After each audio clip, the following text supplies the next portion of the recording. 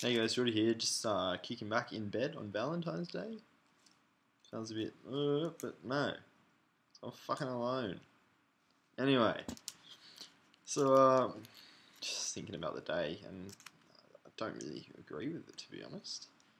I mean, what, what's a day of love? All right, well, if you love someone, you tell them every day, don't you? You know, you they should know that. You love them extra special on this day. Doesn't really fucking make sense. Why does this day exist? Oh, fuck knows. Should I Google it? Yeah. Why does Valen... Fuck. Times Day exist? There you go.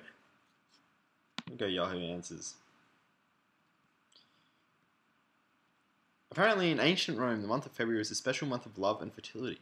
On the special day of the 14th, the goddess blah, had a child and was named Valentine. There you go. We're not in Rome. I'm not having a fucking kid, so I don't give a fuck.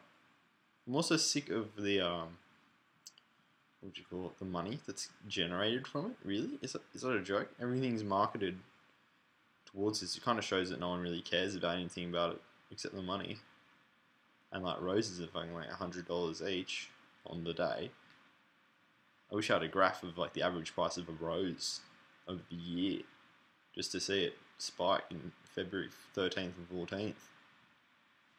I don't get it. Anyway, if you disagree, let me know in the comment. If you if you agree, leave a comment, I guess, and uh, subscribe for more. I guess check out the videos down here, down here. I think. Maybe this way. I don't know. Anyway, subscribe. See you guys.